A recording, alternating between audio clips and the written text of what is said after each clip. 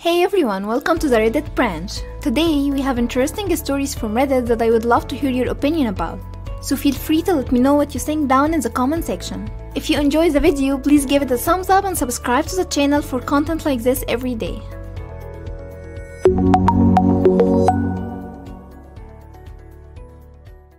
First story Am I the a hole for not inviting my dad to my graduation?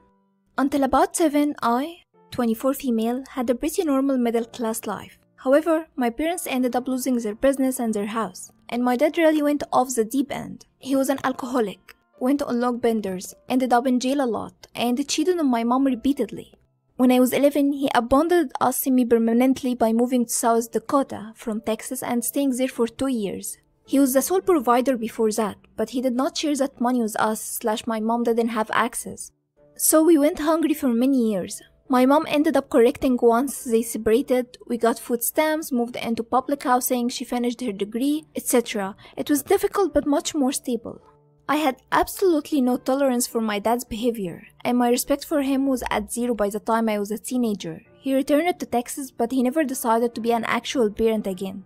He drifted around occasionally but avoided all child support payments. Anyway, I decided I was going to work hard to improve my future. I got a full ride to a top college. I was well respected on campus and my graduation was special to me. It was three days of various ceremonies, dinners, lunches, etc. I had spoken to my dad maybe twice in the four years I have been away, and I do feel like I succeeded in life in spite of him, so it never occurred to me to invite him. I genuinely didn't believe he should get to share in my accomplishment as if it were his own. I found out that he was planning to come, even though I had not invited him, but I wanted my weekend to be stress free. His behavior is extremely unpredictable. He is loud, likes to be the center of attention, and it would have made me nearly physically ill to watch him speaking with people as if he knows me and contributed to my success. When I told my family I didn't want him there, they all ganged up me and told me that I should just let him come because he's my father, to keep the peace. They can tolerate him better and tend to appease him because he's really volatile. So I ended up having to defend myself against everyone. They ended up reducing me to tears after pressuring me for hours, but I still felt strongly that I could not have him there. I ended up calling him and explaining that he was not invited. I stated that he knew our relationship was not really there and I would hope he could take it maturely. The conversation went well enough, surprisingly, and I had a wonderful graduation.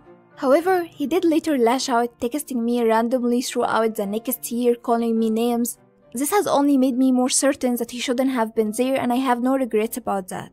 However, I now have a reputation in my family for being cold. It comes up pretty often and it just bothers me. So am I the a-hole? People replied in the comments with, You're not the a-hole. They're pressuring you for doing something and instead of asking him to change his behavior and grow up, which he won't do anyways. He would have just ruined an important moment for you. Don't stress about it. You're not the a-hole, and his reaction afterwards should make you feel justified in not inviting him. He may be your dad, but he's not entitled to a relationship when it's convenient for him when he didn't put in the time or effort as your family struggled. It always surprises me when parents leave for years on end and expect their kids to welcome them back with open arms once the tough times are gone. That's not how the stuff works. You're not the a-hole. Did the family that pressured you and criticized you feed and provide for you when your dad was a deadbeat? Did they pressure him to pay child support and be an active parent? Next story. Am I the a-hole for kicking my ex-girlfriend and her son out even though I know they cannot support themselves? My girlfriend, now ex, and I broke up a few days ago. We broke up because she basically said that my daughter is not her child, so she won't help with her. I realized she was a narcissist and gold digger. I am loaded. Also, her son became an all-rounder jerk. In the area we live, Rent can be a few thousand dollars a month, which is way too much for her to afford. So when we were together, I paid for everything as she does not make much money and she wouldn't be able to live in this area on her salary. Well, since we broke up, we really hate each other and I want her out as soon as possible. She started yelling at me saying how she wouldn't be able to afford to live on her own. She has exhausted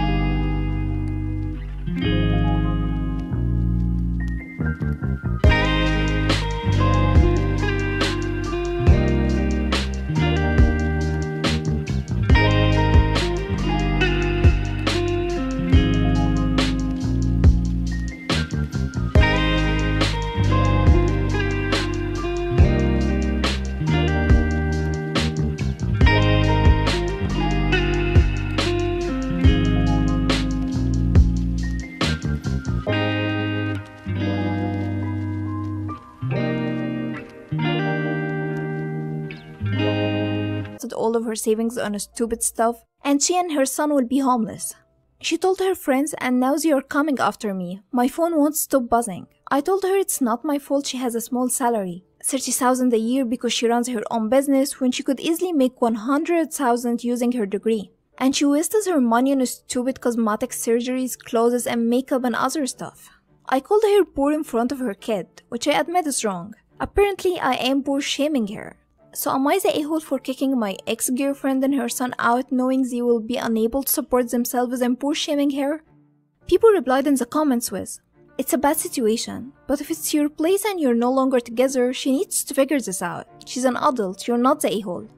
You're not the a-hole, they aren't your problem. You do not owe her housing or anything else. Block her friends, block her, and move on with your life. You are very thorough, even included a summary.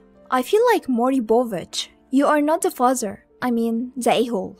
Simply, you broke up because your needs were not being met. She can no longer live with you. You have no obligations beyond that. Giving her a few days' notice would be nice though. Your girlfriend is not entitled to live rent free in your home. Your relationship is over. If her friends are so concerned, they can take her in. If you want to cut her a break and give her time to make a plan, tell her that she needs to do chores or pay rent. You're not the a-hole.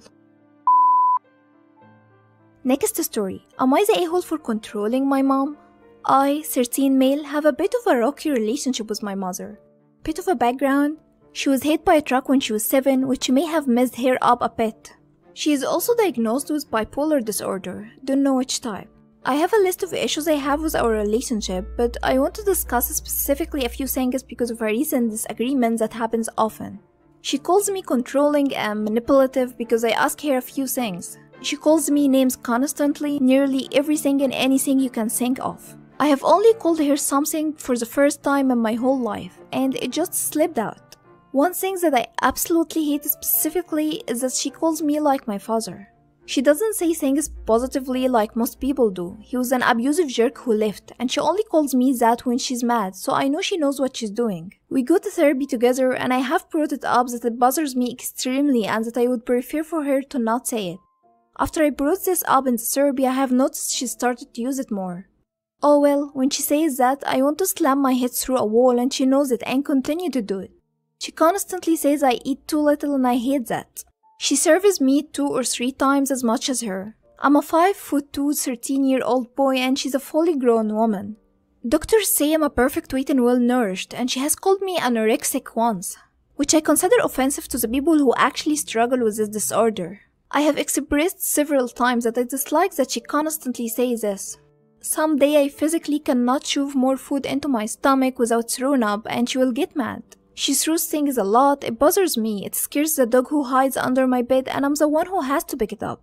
She always apologizes for whatever, then she turns around and does it again the next day. She recently tried to spin it into me not letting her do anything in her own house, and that I want her mute, and now she's not talking. Am I the a-hole here? People replied in the comments with, You're not the a-hole. She's clearly abusive. I would call child service. You do not deserve to be around that energy.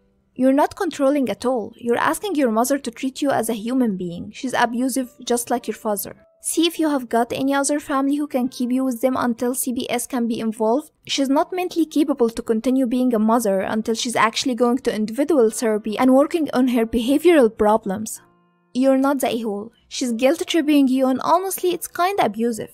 You should talk to your therapist alone about how she acts. I'm sorry this is happening to you. This concludes all the stories we have for this video. Thank you so much for watching and I hope you enjoyed it. Please feel free to share your opinions in the comment section down below. Until next time.